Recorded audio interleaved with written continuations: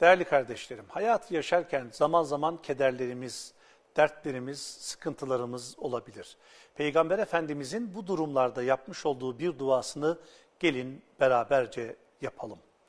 Ey her zaman diri olup, her şeyin varlığı kendisine bağlı olup, kainatı idare eden Allah'ım. Senden bana merhamet edip imdadıma yetişmeni niyaz ediyorum.